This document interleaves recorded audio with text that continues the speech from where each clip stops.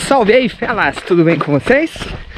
Xerdi Batista, no meio do longão, em mais um vídeo para falar com vocês sobre treinar por distância ou treinar por tempo. Diz aí, como é que você faz? Show? Acompanha que eu vou explicar para vocês a minha metodologia e o meu meio de pensar.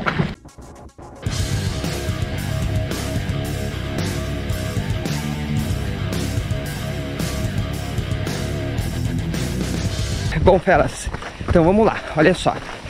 Para pautar vocês, eu tô no ciclo para maratona e hoje eu teria de 26 a 28 quilômetros para rodar em ritmo leve, que para mim ficaria entre 4,45 e 5 por mil, constante.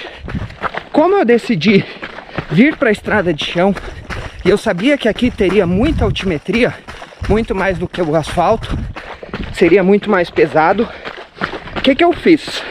Ou o que, que eu faço, inclusive para os meus alunos. Eu calculo ah, o tempo de exposição que daria naquele ritmo no asfalto, certo?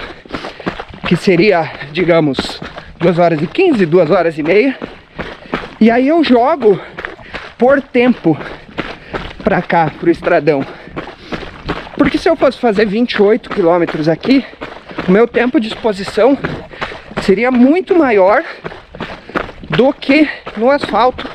Então quando eu vou montar a planilha minha, dos meus alunos, eu levo em conta quilometragem semanal e também o tempo em que ele vai estar exposto de acordo com o ritmo dele.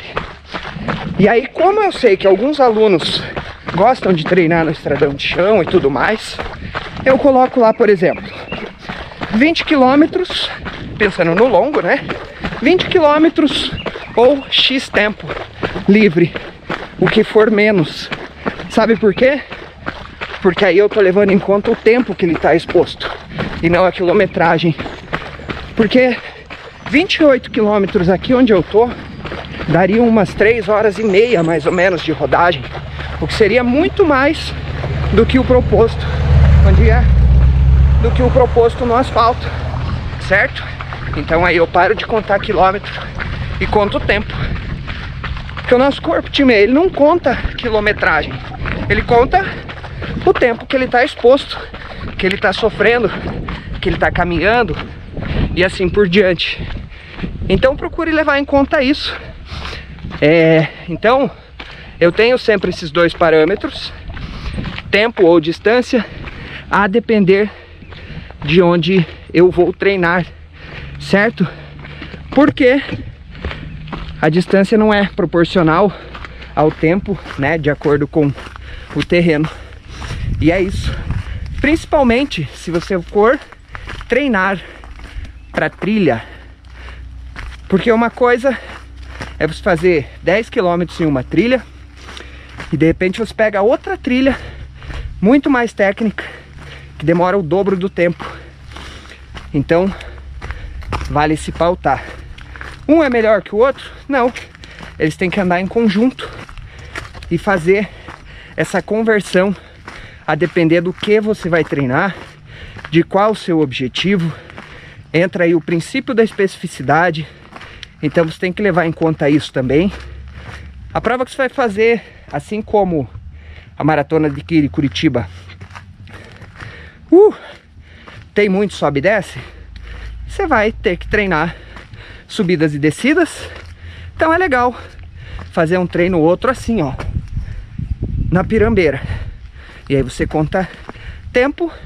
Ou se você não gosta de contar tempo, teria que fazer 20 km no asfalto, daria tanto tempo. Calcula esse tempo e faz aqui. Ah, então esse tempo lá, em vez de 4 por mil, 5 por mil, eu vou rodar 6 por mil, calcula, converte, diminui a quilometragem, que vai dar o mesmo tempo do asfalto, certo? Basicamente é isso, né? Eu fiquei dando voltas, mas para dizer isso aí para você, tenha em mente esses dois parâmetros. É muito importante, assim como eu digo, tenha em mente o pace, sim, mas também leve em conta a sua percepção de esforço mas isso é tema para um próximo vídeo, caso vocês queiram que eu fale um pouco sobre isso. Show? Então é isso, vou ficando por aqui, continuando meu longão. Espero que vocês tenham gostado. É nós, estamos junto. Falou, valeu.